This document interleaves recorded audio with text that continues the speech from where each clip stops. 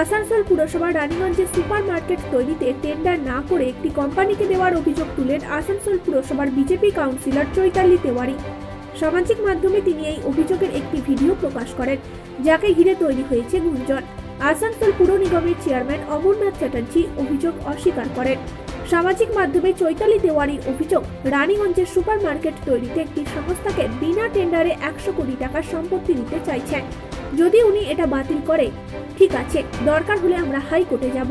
এরপরে সোমবার আসানসোল পুর ভবনে এক সাংবাদিক বৈঠকে চেয়ারম্যান অমরনাথ চ্যাটার্জি জানান, ওনাদের এই বিষয়ে শিক্ষার অভাব রয়েছে আর শিক্ষকের অভাব আছে। সেগুলো করে নিতে পারলে টিআরপিটা বাড়বে। এগুলো বাজার গরম করতে এসব করছে। এই বিষয়ে তিনি আরও বলেন, পুরসভার সিদ্ধান্ত, যতগুলো ফ্লোর হবে তাতে প্রতি ফ্লোরে তিরিশ শতাংশ করে অংশীদারি পুরসভা থাকবে। আগামী পাঁচ তারিখ যদি এই সিদ্ধান্ত বোর্ড পাশ করে, তাহলে এটা হবে। তৎকালীন রানীগঞ্জ পৌরসভার বামেদের দখলে ছিল। সেই সময় এই মার্কেট কমপ্লেক্সটি তৈরি করার পরিকল্পনা করা হয়েছিল বলে জানান চেয়ারম্যান অমরনাথ চ্যাটার্জি।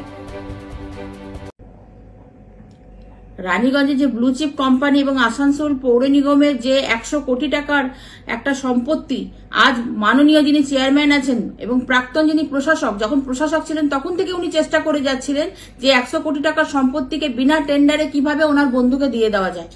তো এটাকে আমরা মেনে নিতে পারছি না, কারণ পাঁচ লক্ষ টাকা একটা টেন্ডার হতে গেলে, যদি কাজ পেতে গেলে যদি টেন্ডার করতে হয়, তাহলে একশো কোটি টাকা সম্পত্তি উনি কি করে দিয়ে দিতে পারেন? উনি এইভাবে আসানসোল কর্পোরেশনকে বেচে দিতে চাইছেন। একশো ছটা কাউন্সিলর, আমার মনে হয় না এই ব্যাপারে কোনো অবগত ওনারা আছেন। এবং ওনার কাছে আমি দাবি রাখছি, যদি উনি এটা ক্যান্সেল করেন, ভালো কথা। না হলে আমরা এর থেকে বৃহত্তর থেকে বৃহত্তর ভাবে আমরা আন্দোলনে নামবো, আমরা হাইকোর্ট পর্যন্ত আমরা পৌঁছাবো।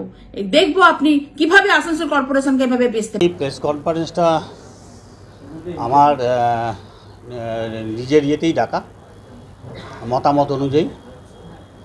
তো ডাকতে খারাপও লাগছিল। কারণ এই সমস্ত মধ্যেখানে সংস্কারের পরিপন্থী হয় আমার।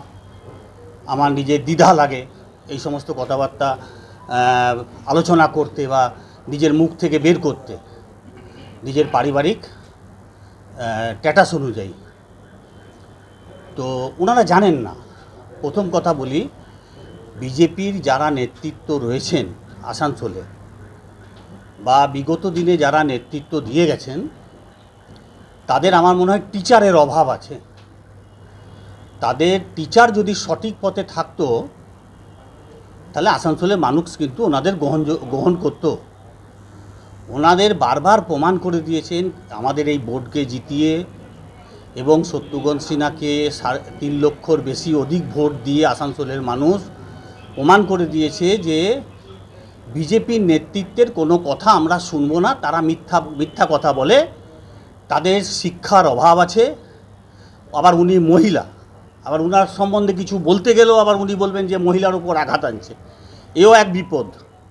তো সেই বিপদটাকেও উপেক্ষু একটু উপেক্ষিত করতে হবে, কারণ ওনারও সংযতভাবে কথা বলা উচিত। কারণ উনি যখন প্রকাশ্যে কোনো কথা বলবেন, সেই কথাটা ওনার জেনে নেওয়া উচিত যে বিগত দিনে ওনার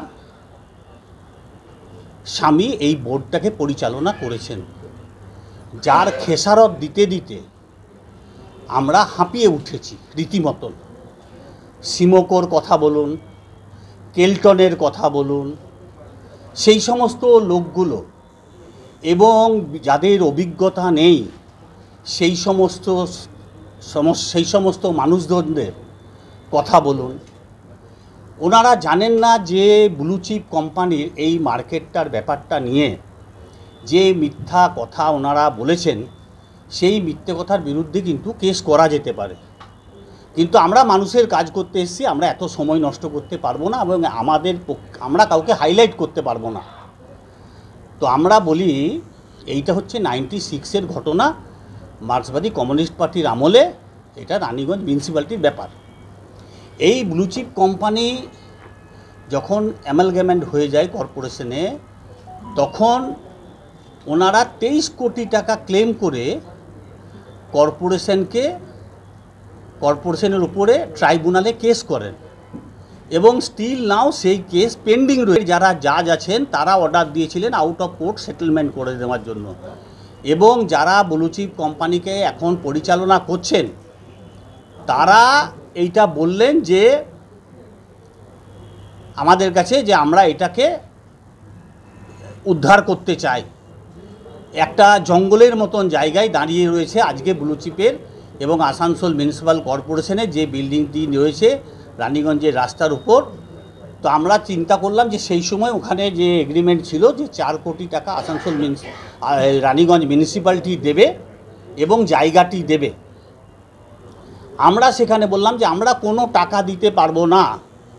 এবং সেখানে আমার কোনো দায়িত্ব নেই, আমি কোনো জায়গায় কোনো কন্ট্রাক্টরকে ডেকে আনেনি আর আমার কেউ বন্ধু নেই ভাই।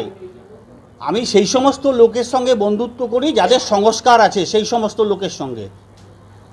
তো সেইখানে আমাদের কর্পোরেশনের কমিশনার সাহেব, আমাদের কর্পোরেশনের সেক্রেটারি সাহেব নিয়ে একটা কমিটি করা হয়েছিল এবং যাদের যারা আমাদের কর্পোরেশনের লয়ার রয়েছে তাদের নিয়ে একটা আইন করা আইন করা হয়েছিল।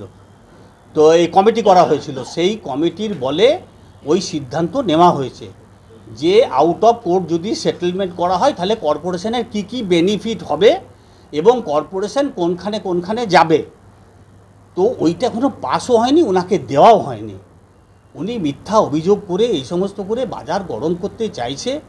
ভারতবর্ষে চারদিকে অরাজকতা সৃষ্টি করেছে বিজেপি। কোনো রকম জিনিসপত্রের দাম কমানোর প্রয়াস নেই। আসানসোল শিল্পাঞ্চলটাকে ধ্বংস করে দিয়েছে, রেল বিক্রি করে দিয়েছে, রেলের এখন উচ্ছেদ প্রকল্প শুরু হয়েছে। এই সমস্ত দিক থেকে মাথা ঘোরানোর জন্য উনি এই সমস্ত বিভ্রান্তকর মতবাদ পোষণ করছেন। আমাদের যদি লুকিয়ে করার কথা থাকতো, তাহলে আমরা বোর্ড মিটিংয়ে প্লেস করব কেন? তো আমরা লুকিয়ে ওনার স্বামী যেরকম আগে মুখে মুখে কাজ দিয়ে দিতেন টেন্ডার হলো না, কাজ হয়ে গেল। পরবর্তীকালে টেন্ডার ম্যাচুয়ার হয়েছে, যার ক্রেডেন্সিয়াল নেই, তাকে দিয়ে দিয়েছে। আমাদের বর্তমান মেয়র সেই সমস্ত বিলগুলো আটকে রেখেছে, আমাদের কমিশনার সেই সমস্ত বিলগুলো আটকে রেখেছিল। তো আমরা সেই সমস্ত কাজ করি। আমরা প্রকাশ্যে এনে দিয়েছি তো। যদি বোর্ড মিটিংয়ে পাস হয়, যদি বোর্ডের সদস্যরা যদি একসেপ্ট করে নেয় যে না, এটা এই প্রস্তাবে রাজি হবে, তাহলে পাস হবে। আর যদি বোর্ডের মেম্বাররা পাস না করতে চাই বোর্ডের মেম্বাররা পাস না করলে হবে না। আমি তো খালি পরিচালক। আমি তো নীতি নির্ধারক নয়। সৌমিত্র গাঙ্গুলির রিপোর্ট টাইমস বাংলা।